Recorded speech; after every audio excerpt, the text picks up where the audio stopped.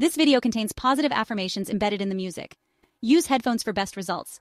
Headphones enhance the experience, and listening on loop deepens your transformation. Welcome to 10 Essential Tips for Cross-Dressing Beginners.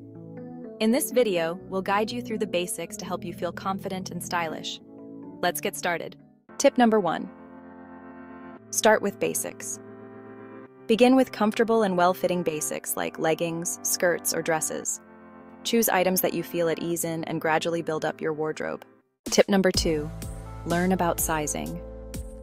Women's clothing sizes can be different from men's, so it's essential to understand how sizes work. Take measurements of your body and use size charts to find the best fit. Tip number three invest in shapewear. Shapewear can help smooth out your figure and enhance your look.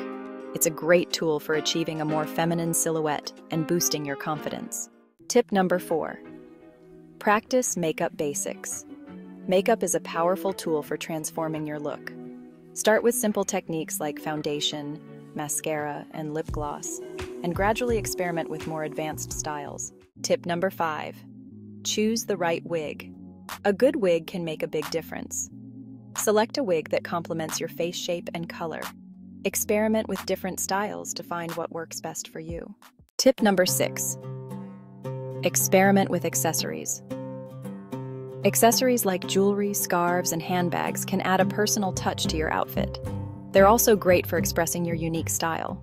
Tip number seven practice confidence. Confidence is key. Stand tall, smile, and own your look. The more comfortable you are with yourself, the more confident you'll appear. Tip number eight learn about body contouring. Body contouring techniques can help create a more feminine shape.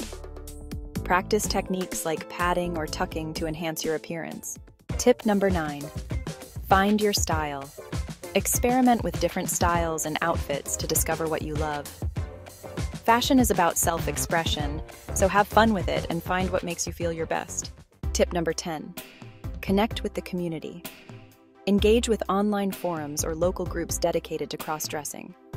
They can offer support, advice, and inspiration as you navigate your journey. Thanks for joining us. If you found these tips helpful, be sure to like, subscribe, and hit the notification bell for more great content. Share your own tips and experiences in the comments. We'd love to hear from you.